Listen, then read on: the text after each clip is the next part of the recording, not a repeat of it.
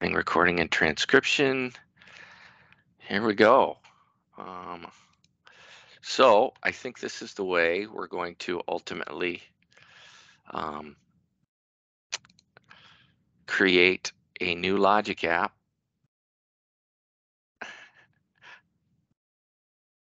You need to go talk to somebody. You could go. Uh, no, I just, she was gonna clean, uh, the room and I told her Oh, not right now. okay. So I'm going to close this solution. We're going to start it from scratch. Yeah, Save, yeah. save it. Okay, so what would you like to do? I think what we're going to have ultimately happen is we will clone a repository um, from Azure DevOps. We will have a repository. I will have already established a repository. So you, Galen, as you go to uh, set up your new project slash solution in Visual Studio, you'll you'll have this URL already. Right. And with from within Visual Studio, you'll type that in and then give it a folder, a local folder name from where to clone or from where to, where to save that locally. Right, You hit okay. clone, it'll bring it down. We'll wait for this to cook for a second.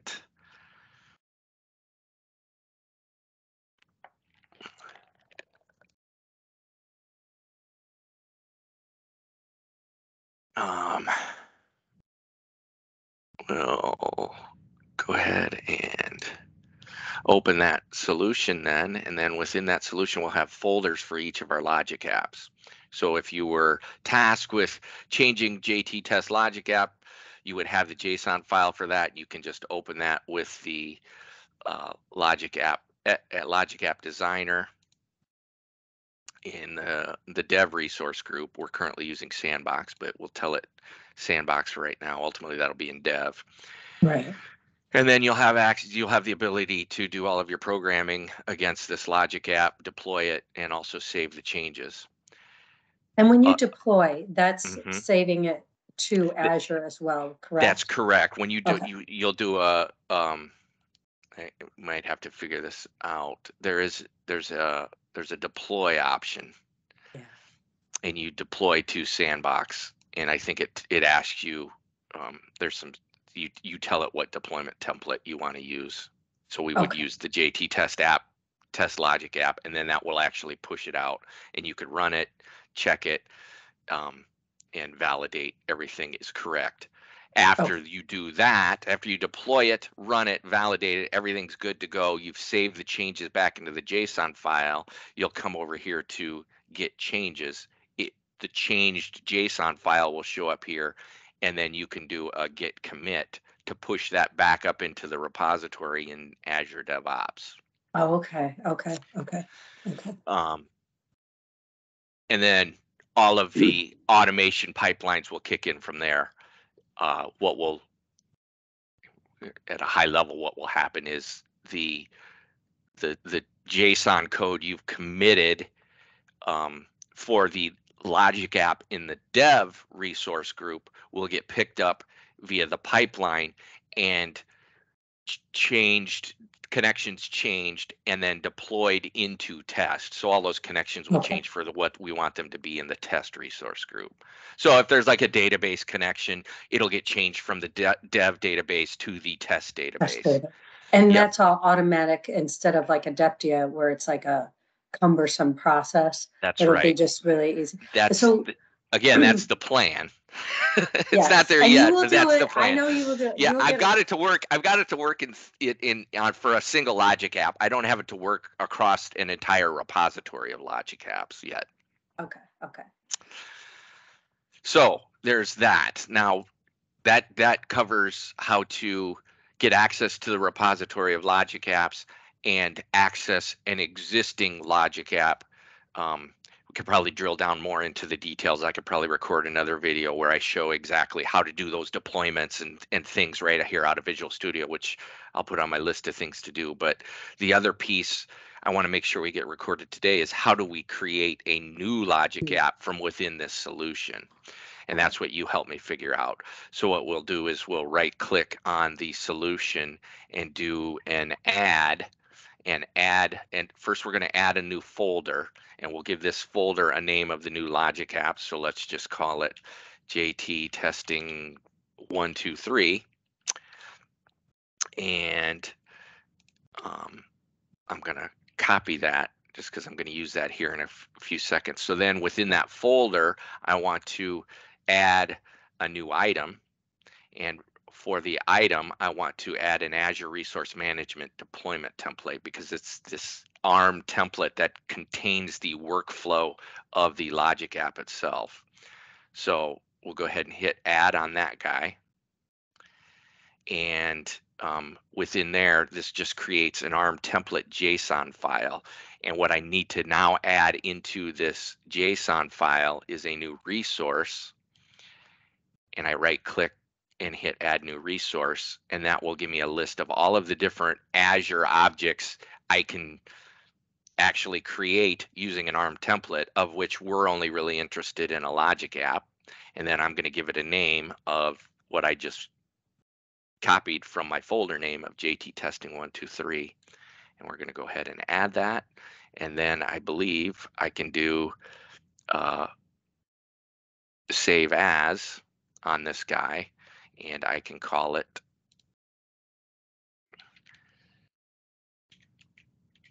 just to keep all the names in alignment, JT testing 123, save. And now I have that logic app there, which I can now open with the Logic App Designer, tell it the resource group, say OK, and it will give me a blank Logic app from which to start my work. I may get a script error here again. Yay, exactly. I've been trying to figure this out forever. Yeah, there's my script error. And just continue. We'll see, um, sites already helped us. It has. That's great. So then I can, let's just uh, do a schedule here, a recurrence. We'll just put some there and say new step. Um, let's go ahead and we'll just, so this is, uh, where's my, yeah, this guy. We'll just send an email. Um,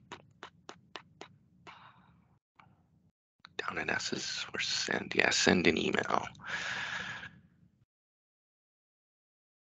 it should put me it should give me a connection that's already available in that Why does it keep giving group. you my connection?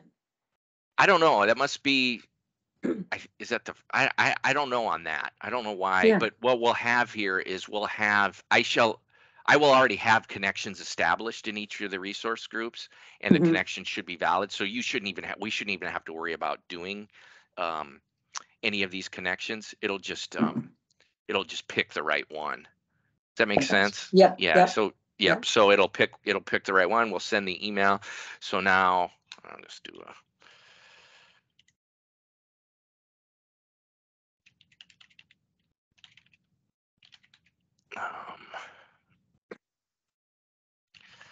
New Logic app in Visual Studio.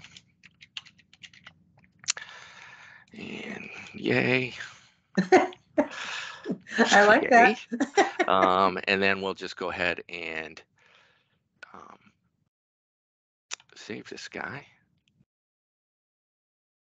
So once it's saved, we could deploy it. We could run it. We could validate the uh, results of this logic app in the in the uh, resource group in which we deploy it.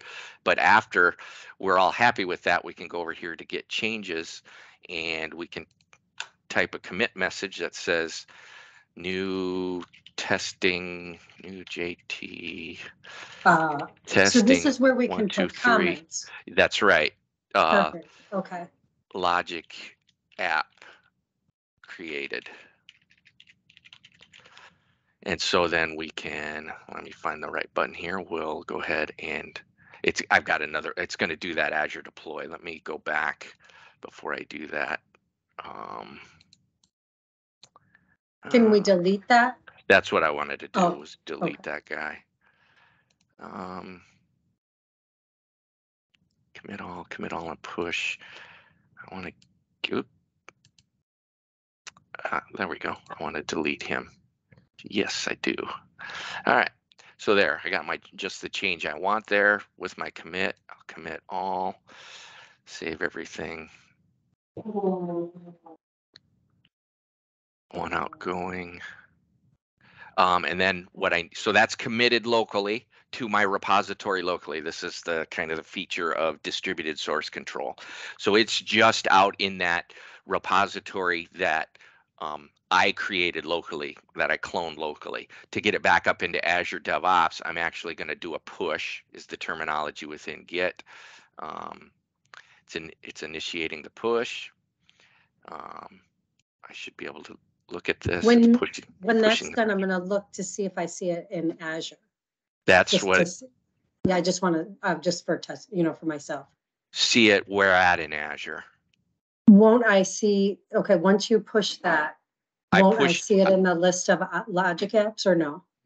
You won't see it in the resource group because I did not actually go through the process of deploying it out of Visual Studio. Okay, okay. But okay. you will, we should see it, we should see it um here. So if I look in my, if I'm in, I'm back in Azure DevOps and if I go, go back to my repos and I look at, uh, it says in progress here. Oh, it's running a build. It's Ah. running my pipeline. Uh, Oh. how do I? oh, here it is. Here, if I look at my commits, I will see that the new testing one, two, Ah. logic app was created and it's actually building because I got a build set up with every commit, which my pipeline needs to be refined a little bit, but I should, I- we should, we can see that that new file has showed up. Okay, that's awesome.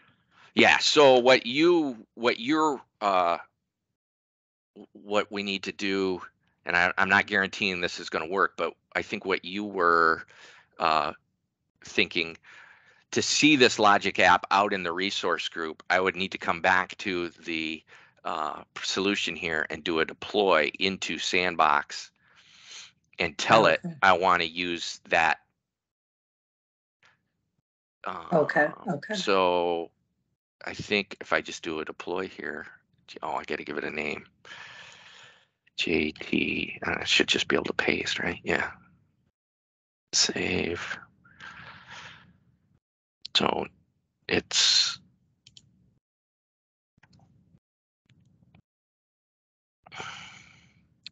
We'll see here. Continue to re- read this output. This is where I'm not sure it's gonna work. How do I get Oh, to? I wonder Your if task failed. Yeah, there it is. Yeah. Do you think it failed because it's still being, um, it's still running in your DevOps? No, I don't think so. Okay, Um, there's something else going on here. I'm gonna have to play with it. How do I? It's on auto hide. I want to get. I want to expand this guy. Shouldn't there be? A, there it is. Oh. Um. Yeah, I think I, I- I'll need to work through the deploy piece of this, yeah. but I think high level, that's that's that's what we'll end up doing. We'll do a deploy out of here into Sandbox, but it'll be a deploy into Dev. Really, is Dev, what we're right, doing. yeah. Yep, and then um, that deployment puts it out there, and then you should be able to go see it, you know, out here in um, Sandbox when we look through all the. That's what you were thinking, is it would show Yeah, up here, and yeah. it will ultimately. It will show up where you can view it through the portal as well. Okay. Now, when, for right now, when people are working in Visual Studio on either existing or new Logic apps, do you want us to be in a project during Sandbox so you don't have like stuff? I, you know, I don't know Uh, no, I, right now Sandbox is truly that. It's just a willy-nilly place where, so you can go and do exactly what I just did. Um, you can either clone that repository or you can create a new repository and deploy it out of that, however you want to do it. Um, Mm, Tell me which I should do, like. I would say go ahead, go ahead and create your own for now. And then Okay. I'll, oh, and then once I get, once I get our structure finalized, I've got a meeting with um, Mike at RSM where I think he's going to get into exactly what I just did. Right. Uh, and it'll be good to have his input in that because he'll probably teach me some, something new as well.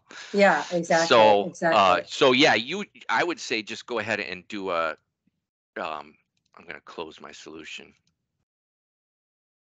I would say just create a new project Mhm. and with every new project, it creates a repository locally for you. And you want you want to use an, an Azure resource group as the base of your project. You can see it's already there for Okay, so if you do an Azure resource group, hit next, it it it says where you want to save that at, yeah. give it a yep, name. So you know you can just call it Logic App Test or however you want to do that. Um, I And then will I use that same, like, like if I, I don't know, for whatever reason, created a new project and I wanted that same repository, I would just copy the, re- put that repository No, we, we'd end up, we'd end up having to re, rework that a little bit. We could take any logic app you have in your repository and move it over, but it's, you, you don't, you don't blend the repositories that way. Okay, Uh, it's, it's more of a, a manual copy, but I could work with you for that. So yeah, you just go here, configure new project, hit create. And then you'll, here again, you tell it you want a logic app.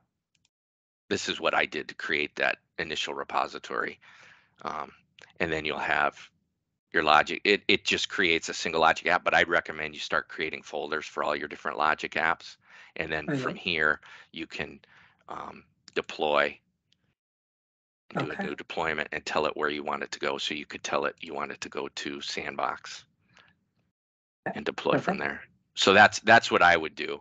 And then you will also have uh, you can create a Git repository right from here. Um, you could do the clone. Yeah, I would I would say create a new one for now until I Okay. get all of this finalized. So you just hit create and then it'll it'll ask you where and you can say local only and just give it a give it a local path. okay, okay, A lot of this a lot of this um the nuances and subtleties and specifics of Git you'll be uh, removed from. The only thing you'll really need to know is that once you clone it, you're just going to do commits against it and push it up to the Azure DevOps. That's all you're going to really need to know. You're not going to need to know the where it's stored, what the file, how the file layouts are, and things like that. right, You were we're just going to let Git do its thing. It's sort of like that engine running under the hood that we don't ever need to lift the hood on. I do occasionally, but right, right. Yeah. Yeah. so yeah. that's that's what I would do with that. Okay, perfect. Well, No, good. I, I, I do ahead. want you to, um, you can stop recording this if you want. Yep, yep. Um, Um, stop recording, and I'll share it with you once I. thank you.